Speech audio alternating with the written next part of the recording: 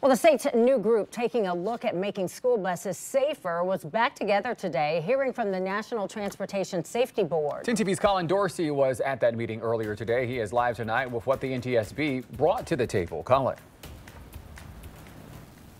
Yeah, put seatbelts on school buses. That was the big takeaway from the NTSB's presentation.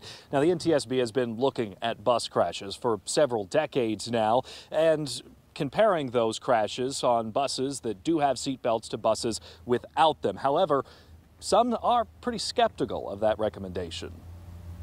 My fear is that we're trapping kids there, whereas maybe they could be pushed off to the side, whereas their injury could be pretty significant.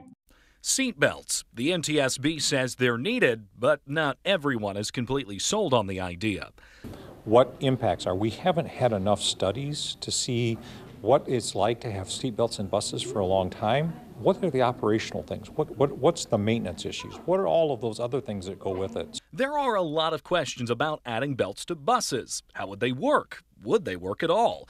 Kristen Palmer from the NTSB says they do work, but it's a team effort involves an entire system approach. The children need to know how to use the belts. The drivers need to encourage the belts. There needs to be requirements for them.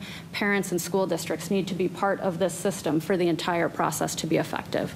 Video like this shows how kids move in a front end crash in a bus, but those seats don't hold them in place in a sideways crash or a rollover crash. NTSB investigators have been comparing school bus accidents over the years, ones without seatbelts to similar crashes with seatbelts, taking a look at how students are thrown about inside the bus during a crash. Properly worn lap shoulder belts provide the best protection for large school bus passengers in all crash types. They keep the children within the seating compartment before and during the crash dynamics and are very effective at preventing ejection. Now, this is just the second meeting of this working group. They'll meet a total of six times before they put together the recommendations and present them to the state. Live in Columbus, Colin Dorsey, 10 TV News.